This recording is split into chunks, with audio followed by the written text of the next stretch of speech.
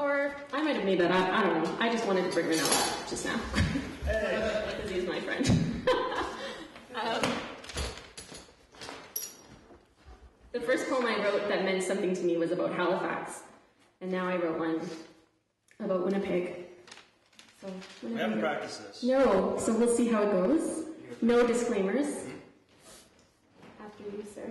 Okay, just, just keep through.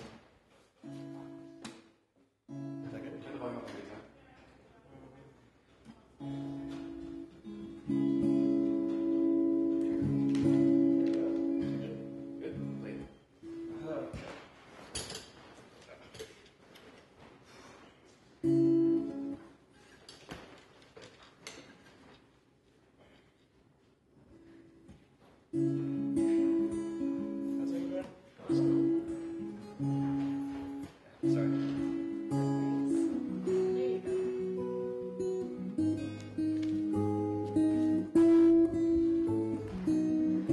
Today, baby.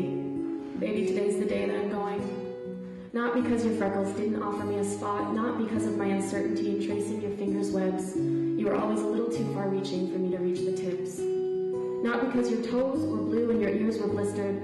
I feel like one of us is finding her voice while the other is choking. And I guess it shows that I don't deserve you when I'm only scared which one is me.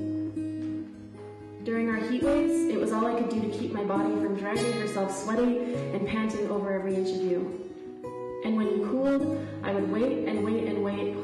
time you've come to me, your insulation softening all my screams. It's not a break, but for now an indefinite pause. Hopefully not one that has us starting over from the beginning because we've come too damn far for that. I'm not good enough yet to have me stay and it be worth both our whiles. I'm still not good at seeing the mornings or sipping my coffee or holding eye contact when I'm uncomfortable. I still can't be my own happiness. Blaming you would take would avoid taking responsibility, staying with you would be too. It's not that I have to leave, it's that if I didn't, it wouldn't make a difference. You've come so close to holding me, more out of resignation on both our parts, I think. Closer even than the first one I thought I loved, which says plenty about you and maybe just as much about me. You are known for your reliability, a quality which eludes me. Let's pick this up in a while, perhaps when we both have better or maybe less to say. I'm leaving today, baby. Baby, today's the day I'm going.